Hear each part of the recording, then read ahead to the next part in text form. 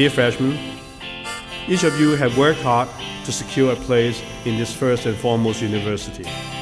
Taking a seat in Loke Yew Hall, the inaugural ceremony is obviously a very exciting thing.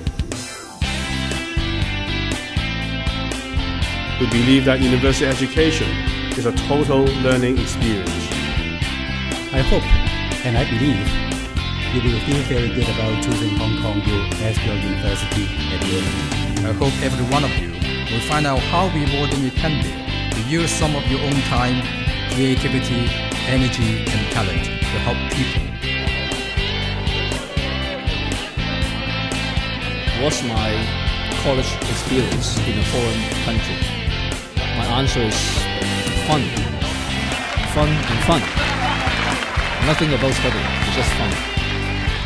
The fundamentals in the university refers to in Chinese is uh, 读书上庄住 hall 拍拖 and part time.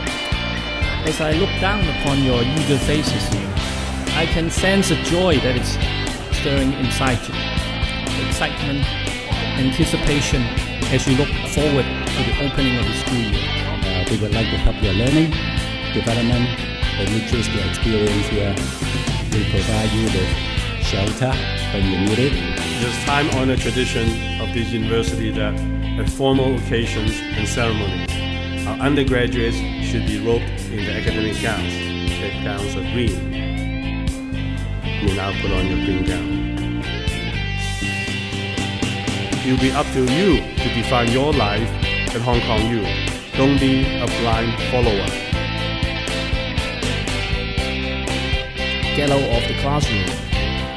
Get out of campus. Go travel. Have fun in the city. Have fun in Asia. Skip class if you have to.